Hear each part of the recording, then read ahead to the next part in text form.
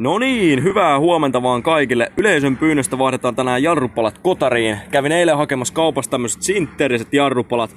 Nämä on tarvikepalat, Saksassa valmistetut, pitäisi olla ihan toimivat tähän vekottimeen. Ja tässä on suunnilleen työkalut, mitä tähän tarvii, eli suhteellisen simppeli homma. Ei tarvii edes ottaa tuota kaliberia irti. Mä nopsaan nyt tutkia, että miten se menikään, mutta käsittääkseni täytyy vaan ottaa tästä nämä sokat irti ja sellainen tappi tuosta toiselta puolelta. Ja sitten siellä pitäisi palojen paljon paljastuakin. Eli mä vähän kokeilen, että miten se lähtee ja näytän sitten teille kameralle, että miten homma hoituu.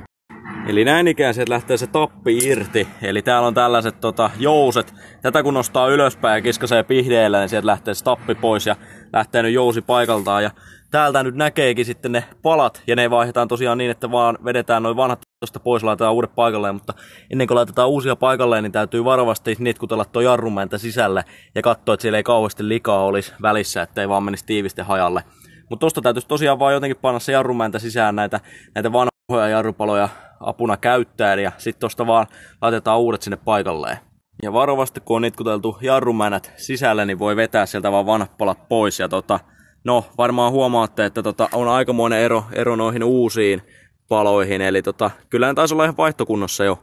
Uusissa paloissa onkin aika hyvin pintaa jäljellä ja ne vaan sitten törkätään tonne paikalleen yksi kerrallaan ihan pohjaan asti vaan ja siellä se pysyy paikallaan itse asiassa. Eli toinen vaan paikalleen, sitten täytyy laittaa se tota, sokka ja painaa tappi tuot takaisin vaan paikalleen. Ja nyt kun molemmat palat on paikallaan, niin täytyy vaan laittaa tää jousi paikalleen ja nostaa vähän peukaloista näin ja laittaa toi tappi vaan täältä toiset puolelta läpi ja siellä se pysyykin nyt paikallaan. Eli toiset palat on vaihdettu, nyt täytyy siirtyä ton toisen puolen kimppuun.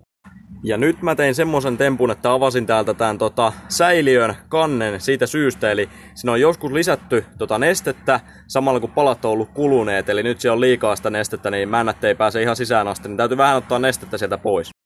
Kyllä mä luulen, että nyt oli oikea aika vaihtaa nämä palat, eli edelliset oli päässyt aika pahaan kuntoon tässä nyt viimeisen 5000 kilsan matkalla, mutta ei se haittaa. Uutta palaa vaan paikalleen ja meno jatkuu. Tässä on tosiaan työkalut, mitä tarvii vanhojen jarrupalojen irrottamiseen, eli tollanen iso talttapäämeisseli vaan ja rätti vähän pehmukkeeksi, ettei tuu vaan naarmoja tonne jarrusatulaan. Eli tosta kun vaan noi klipsut kädellä nostaa ja vetää sen tapin, niin ei siihen tarvitsekaan mitään pihteä, ellei se ole tosi jumissa.